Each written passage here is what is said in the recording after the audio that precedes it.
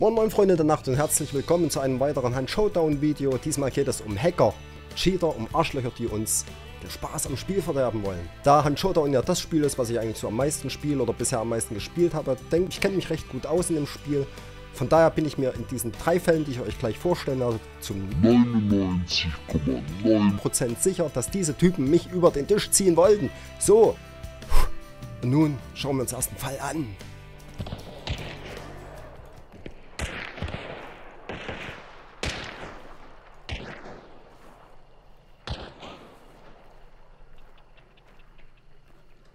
Du bist jetzt auf der anderen Seite vom Gebäude, ne?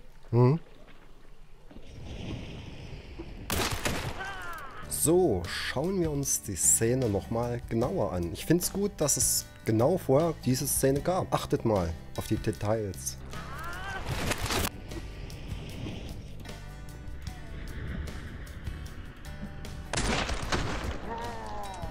Also hier war ganz klar sein Kopf zu sehen, zwar nicht komplett, aber man hat den Hut gesehen und man konnte ahnen oder man konnte sich vorstellen, dass sein Kopf nicht weit davon entfernt ist. Auch die Distanz, also der Abstand zum Gegner, waren höchstens 10, 12 Meter maximal. Dann wollen wir mal sehen, wie es weiterging.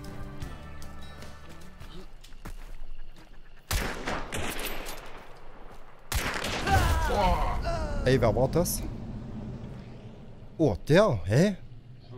Der hat durchs Holz durchgeschossen einfach, Alter.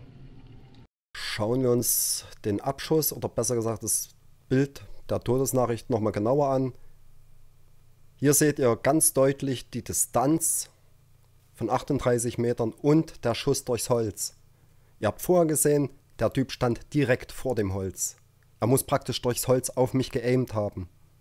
Unmöglich. Willst du mich verarschen? Die dumme Sau. Oh, noch Kopfschuss, Alter. Na klar, wenn es weiter nichts ist. Ey, das kann nicht sein. Wichser der. Hey, da war noch Aimbot oder irgend so ein Scheiß. Das kann doch nicht sein, durchs Holz. Wie Ja, das ist mir auch schon passiert. Durch die Wand haben wir noch schlechtes gehabt. Aber Kopfschuss. Ja, habe ich auch schon hingekriegt. Da habe ich den aber gesehen, wie er hinterm Holzzaun, direkt, er war hinterm Holzzaun und sein Kopf konnte nur dort sein. Aber auf die Entfernung, durch ist durchs Holz, Alter, wie, wie geht das? Groß war denn Mit, mit, mit einer Pistole. Boah. Kommen wir nun zu Fall Nummer 2. Auch ein Spezialagent. Und ich sage euch gleich von weg, sowas macht niemand, was dieser Typ gemacht hat. Und niemand konnte wissen, dass ich dort sitze. Der Boss war gelegt, wir waren guter Dinge. Ich saß extra auf einem Tisch, damit mich eventuell niemand von unten durch den Fußboden erschießen kann. Der Boss war noch nicht äh, verbannt komplett. Wir hatten unsere Trophäen also noch nicht abgeholt. Wir leuchteten also noch nicht wie die Dannenbäume.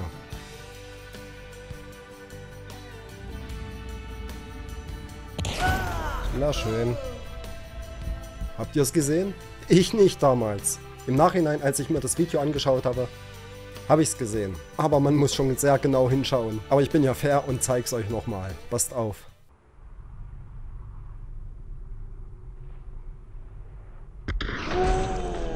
Wenn ihr euch das Video nochmal anschaut in Originalgeschwindigkeit, dann werdet ihr sehen, wie zielsicher er um die Ecke kommt und sofort schießt. Das spricht dafür, dass er gewusst hat, dass ich genau dort sitze. Ein zweiter Fakt ist, dass niemand, ohne zu wissen, dass da draußen noch andere Jäger sind, dort auf dieses Dach klettert. Wir werden gleich sehen, wo er gestanden hat. Tötungsansicht. Ah, ey, der hat auf dem Dach gestanden. Alter, du willst mich doch verarschen.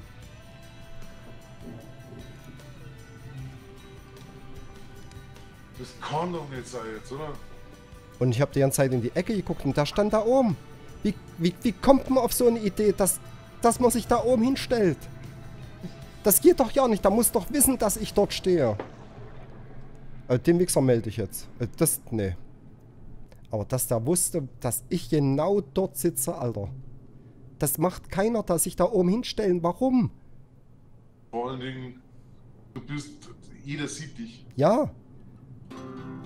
Was Manu gesagt hat, trifft's genau auf den Punkt. Stehst du da oben auf dem Dach, bist du für alle Jäger, die dort in der Nähe sind, sichtbar. Und du kannst nicht davon ausgehen, dass du der einzige Jäger bist, der zum Abschussort des Bosses rennt. Kommen wir nun zum dritten und letzten Fall.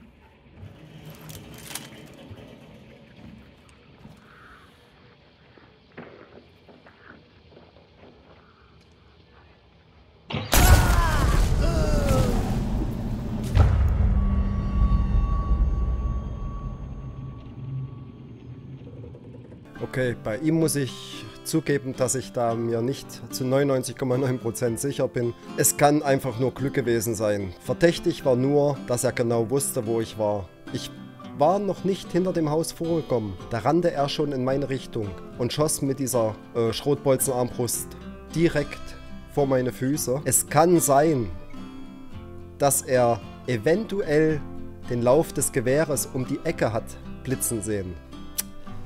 Wie gesagt, bei ihm bin ich mir nicht sicher.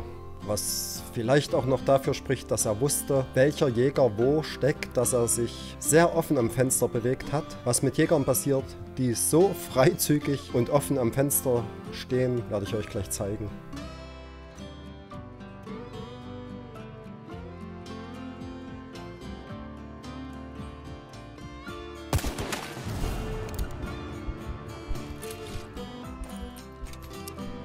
So, ansonsten war es das soweit.